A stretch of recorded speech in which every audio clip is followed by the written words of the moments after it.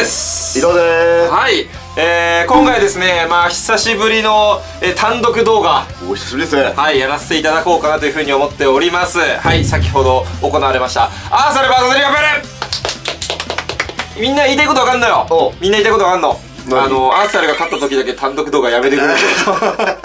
ただ大前提としてあプレチャーはグーナーとシチズのチャンネルである。ははい。いそれはひひいきする。のよはもう。そりゃそうだよ。申し訳ない。あとやっぱりですねうん。あのクロップの動画出したじゃないですか。はいはいはいはい。あそこでまあちょっとクロップリアプール最後に戦うのは2月。はいはい。えー、っていうこともあってちょっと最後のねアーサル VS クロップリバプール、はい。っていうところも踏まえてちょっとメモリアルなんじゃないかと。なるほど。いうことで、えー、やらせていただきます。えー、批判の声は重々受け止め、流します。はい。とい。うことで、早速やっていきましょう。レッツゴー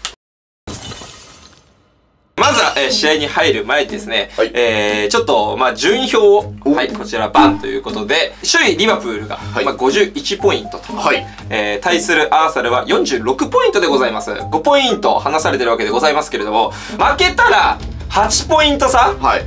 8ポイント差で首位を追走するのは、まあ、ほぼほぼ難しい。この試合負けたら正味今シーズン優勝争い、はい。えー、で優勝できる確率、うんペップシティとそしてクロップリバプールのはいしのぎを削って、う高く見積もって3パー、ん僕はまあそれぐらいと覚悟を持って挑んでましたいい感じっすねっていう中でそうで行われた一戦でございます。はいまず両チームのスタメン見ましょうか。まずはアーサルです。こちらです。はい。はいということで、えー、まあ、いろいろ触れるとこあるんですけれど、まずはジェズスがいなかったですね。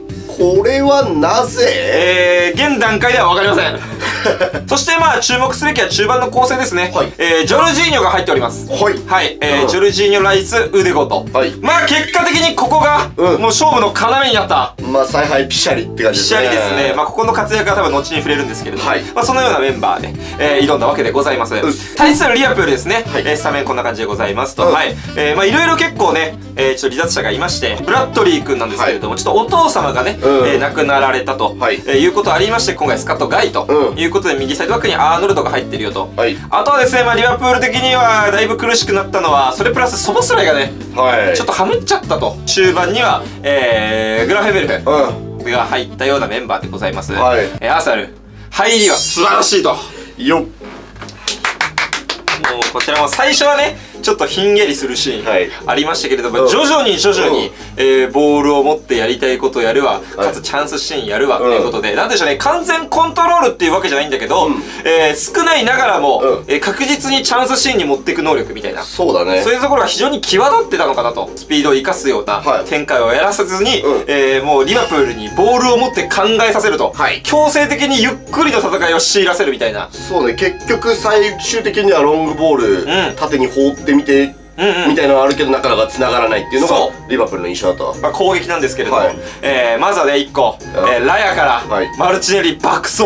はいあれはマルチネリ早すぎねえかと、まあ、今季ですね、リバプール戦うの3度目なんですけれども、えー、なかなかずっとコナテにね、うん。苦戦してたじゃないですか。はい。今回多分、えーもちろんコナテもスーパーだったんですけど、うん。いつもよりマルテネリ早かったなっていう、純粋にもう速さで、なるほどね。一瞬上回ったのがあのシーンだったのかなと。そしてですね、まあ、待望の先制点なんですけれども、はい。まあこちらがもう個人的には今季アーサルナンバーワンゴール。いや本当っすか？はい。まあですね、まあ、ボール持ち始めたのが、うん。確か12分30秒ぐらい。はいはいなんだなんですけれども、ゴール決めたのが13分30秒ぐらいなんですよね。いやこの間ねずっとボール回しながらっていう。ゴールキーパーからのビルドアップでずっと回しながら相手を伺いつつ、えー、ちょっと待ってここが一旦やめようか、うん。って言いながらも一気に加速して、はい。ジンチェンコからウーデゴールでこのウーデゴールのワンタッチのパス。ちょっとアーノルドが高く上がって、はい。コナテがねマルテーリーのスペース埋めようとしてて、でちょっとワイドに広がった時にハバーツがそこのねスペースを見逃さなかったと、まあ、ハバーツここは決めて欲しかったんですけれども、まあ相手はメッシュアリソンと考えたらまあ仕方がないでしょうと、まあ、サカが、うん。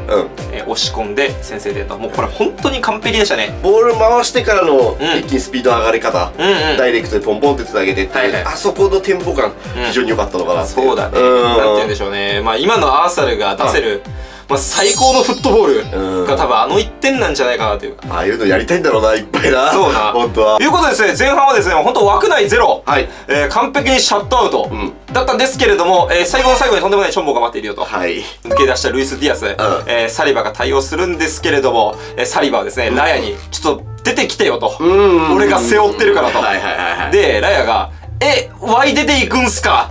の間に、ルイス・ディアスが横からはいかっさらってって、うんカバーに入ったマガリャンイスの手に当たってオウンゴール。これに関してははいどう捉えますか？いや、これですねうん。まずですよ。はアーセナル対リバプール。まあ今の本当に、まあ、世界のトップクラブのうん2つじゃないですか。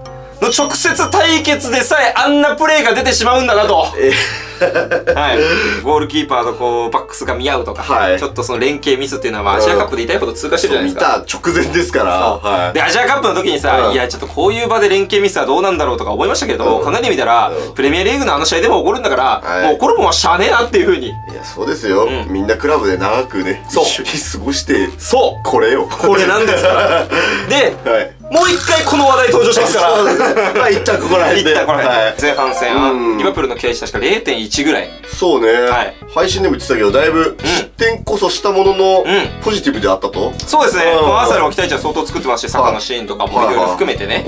えー、ということで、まあ、個人的に悪くはない。うんまあ、引き分けなのはやるせない。うんただ、同じようにやれば、後半どっかで突き放せるって結構自信はあったんですよね。なるほどなるほど、うんなぜ自信してたかっていうと、はもうこの試合でう負けたら、もうそこまでだと俺らは。もう排水の人そう個人的にはそう気持ちだったんですよ。ねはいはい。はい。今季リアプール3度目ですけれども、はい。あの後半やっぱ上げてくるんよね。いやーそうね。アーセル戦だけに限ったことじゃないんだけど、ん。脳裏によぎったのは FA カップ。はい。あの時も前半完璧だった、うん。0対0だったけど、ただはい。後半2点決められて負けちゃったっていうことがあって、まあそこではね、後半のクロップの修正力というか、サブから出てくる選手とか、その辺のやりくりで完全劣ったので、はい。えーそこ、後半、マジで勝負どころだなっていうふうに思ったんですけれども、えーまずジンチンコがいない、キビオルが入っている。はい。ここの時点で一番ちょっとナイーブになってましたね。ちょっと不安だなと思いつつも、はい。これ配信で話さなかったんですけどお、キビオル左サイドバック、うん。で、ツーボラジョルジ・ライス。うん。これって、あの、覚えてますかね？アンサル3連敗して、キビオル左サイドバックどうしても使いたかった時に、うん。あの、ジョルジ・ライスだったらできるよねっていう風に語ったことを、ああなるほど。ちょっとビルドアップのところをジョルジーニョがそう。ジンチェンコの代わりにちょっと助けるみたいなそうそうそう。話だったね。そうそう。実際にね、あの、キビオル今回全然悪目立ちはしなかったなと。ジンチェンコみたいな特殊なタスクじゃなくて、うん。左サイドバックとしてやってほしいことはちゃんとやってくれたなっていう、そんな感じで済むわけでございますけれども、うん。またもとんでもないミスがと。はいマガリアンのね、えーロングフィード、はい。抜け出したマルティネッリ、うん。ただですね、もう完全に大工に前入られて、はい。うん。えーアリソンも飛び出しているような状況なんですけれど、なんとここで、えー、大工とアリソン、うん。連携ミス、はい、えー、ボールがマルティネッリの元へこぼれてくると。なるほど。これでマルティネッリが流し込んで、アーサル勝ち越し。両者ともにミスをしてしまうという。これがなねかなかないですよ。だからやっぱりさ、あ攻められねえよな、日本代表のことをな。大工とアリソンなんて何年やってんのよと。なもう5年6年何年？そうよわかんないぐらいよそんぐらいやってる二人でさえこういうミスは起こってしまうと。普通にやれば絶対処理できるんだからあの2そ人ならう。そう。間違いない。っていうのが起こってしまうっていうのが、これがね、えー。もうサッカーですね。いやわかんないっすね。難しいもんです。そう。はい。でもアーサルリードするわけでございます。まあね、リバプールも結構途中戦、えー途中ね、選手交代とかしてって、はい。えーあれだったんですけれども、ここはもうアーサルがカッチカチ。うん。なかなかやらせない。はい。っていう中で、えー最後の最後、うん。えーまあ、トロサールが、えーまあ、一人で全部やってくれたと。うい。かわして、う運んで、はい。で、あそこのニアのところを、また。また抜き、決め切って3対1でフィニッシュとい。うことで、えーまあ、アーサルが勝利とはい。いうことで、まあちょっとひ調べたんですよ。はい。あの、クロップバー、クロップリバプール VS アーサル。はい。24試合戦って、はい。アーサルの勝ち1、2、3、4、5なんですよ。今回で5今回で5です。うち、多分 PK がね、うん2個っす。まあ最後の対戦でしたけれども、うん多分最も干渉だったんじゃないかなっていう。この24戦代見てきた中で見てきた中で、うん期待値も、うん多分アーサルが3.9、はいでリバプール0.4ぐらい。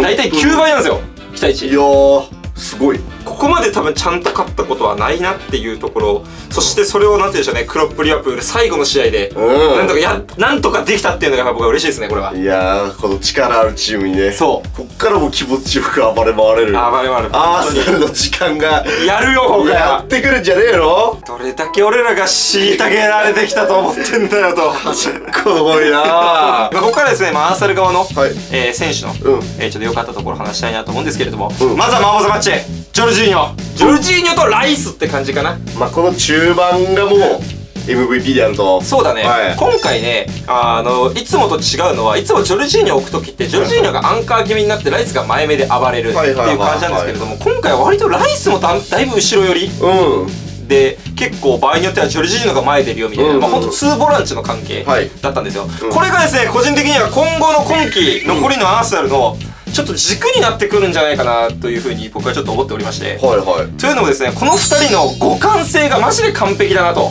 なるほど。はい、まあ、ジョルジーニョはね、うん。もう配球めちゃくちゃうまい。いや。ーもう展開力ワンタッチパス視野の広さ完璧。ただやっぱり機動力の部分、うん。で守備での脆さ、はい。これを、えーちょっと弱点として持っているよと。まあ結構長短はっきりしてるタイプであるな。そう対するライスはもう球際鬼強、うん。カバー範囲バカ広、うん。もうどこにでもいるっていうところを持ちつつ、うん。展開力だったり判断ポジショニングはまだまだ改善が見られる、はい。っていうところのお互いの弱点を完全に消し去ってる2人なんじゃないかなっていう。なるほどお互いできないことをそう。やってくれるというか。そうそうそうそう。結構ライスがアンカー目の時もあったんよ、はいはいジョルジーニョが前出て、ん。そういう時もジャルジーニョが刈り取ることはできない、はい。ただ追い込むことはできる、うん。ライスのもとに、そしてライスが刈り取るみたいな、はい。ライスアンカージョルジ前のところがハマってたことがあったんだよね。はあなるほどね。こっちのどっちパターンも考えるこの2ボランチ、はいはいこれがやっぱり今回のあれなんじゃないかなもう本当にうん勝因なんじゃないかなとジョルジーニョ個人で言っても、はい。やっぱりあのパスは本当魅力的だよねと。いやそうねやっぱり他の、うん。それこそライスさんハバーツ腕とか結構やってたけど、うん。このメンツだとやっぱ出ねえなっていうパスが出るね。そうなんだよね、うん。やっぱりアーセナルって結構あの攻撃がスローリーだと言われてましたけれど、やっぱ一回持って考えちゃうとか、はいはい。そういうところが、ジョルジーニョはほんとないもんね。シュート行くと見せかけてそうだね。マルティネンリに刺したパス。あそこよね。ああいうのだったりはねうんやっぱ体クオリティかなってそうなんだよな。あの縦パスの、うんあの一気のスピードのギア感、うん。あれがやっぱ足りなかったなっていうアーセナルに今までね。うん。契約残り半年ですけれどもこれは延長すべきですねいや正直ねまだまだ腐っちゃねえよな。いや全然勝てるとか一戦級も一戦級でしょ。っ級だよね。ていうかさ、うん。そんな年でもねえだろ。なんだろう顔と風貌だって。そうそう。それで年寄りに見えるのか。言うと31ぐらいだよで年取ってないそうそう。まだまだやれますよ。やれるので、これは絶対契約延長すべきですね。素はい晴らしかったんじゃないかなというふうに思います。んえ続いてですね、ハバーツなんですけれども、まあ、実際決めきってほしいところ、はい。ありました。決定機ミスにあったんですけれども、はい。彼にやってほしいことは、うん。もうしっかりやってくれたなと。なるほど。えーハバーツが一人ボールを持って、はい。サポートもいない、はい。かつずっとリアプールのターンが続いててやっとアーサルがボールになったよ、うん。相手はネガトラめちゃくちゃ速いです、うん。っていう時にファールになって倒れてくれるとかなるほど。そう。かちょっと昔のラカゼットじゃないけどあーそうだね。そんな感じね。うん、それもやってくれたし、うん。まあ、コナテがねこの試合退場になりましたけれども、はい。西2枚のイエローとも、えーハバーツが誘発してるしことリワプール戦において、うん。ハバーツみたいな前線のターゲットがいるだけでビルドアップの幅だいぶ広がるじゃないですか。そうね結構狙ってっていうそう。ところがあったもんね。結構よくあったのがゴールキックからのシーンで、うん。マガレアンがラヤにパスしてラヤがハバーツにめがけて蹴るみたいな、はいはいはい。それがどうなろうとセカセカンド拾えばいいし、うんうん。えーまあもうこっちのものだったらスーパーラッキーだしみたいな、そういうところがですね、えー機能するのもハバーツのタッパの強さだそうね。ったのかなと、うん。あとはですね、まあ、ポイントというと、はい。トロサル。はい。もう本当に彼サッカーが上手いじゃないですか。いやそうっすね。基本的に、うん。あれをスーパーサブで置いていいのだろうかとこれがちょっとね難しいところですよねチームの。ボール扱いが上手なんですよねもう。いやーそうよね。明らかにやっぱねマルティネッリよりもうん。そこいう面は 圧倒的にうめえなってそうなのよ。思うけども一方でマルティネッリもそういうフィジカル面だったりあるからうん。マジ一長一短なんだよねおそう互い。なんだよな。そしてトロちゃんのすごいところはですねはい。彼ですねあの右ウィング、はい。センターフォワード、うん。えー、ひいてはインサイドハーフまでん。何でも途中からできてやってくれると。あんなのがチームにいたらもうそりゃ最高ですよ。あとはですね、うん。えー、まあ最後に、うん。まあアルテタはい。えーまあ、喜びすぎたところは良かったよと。この大一番で、うん。あの布陣を強気にとって、うん。えー勝ちに持っていける、はい。やあれは素晴らしかったと思います。そのモチベーション管理。いやそうですね。やっぱりあのアーセナル近年の課題のあの大一番にはい。へこたれるという、はい。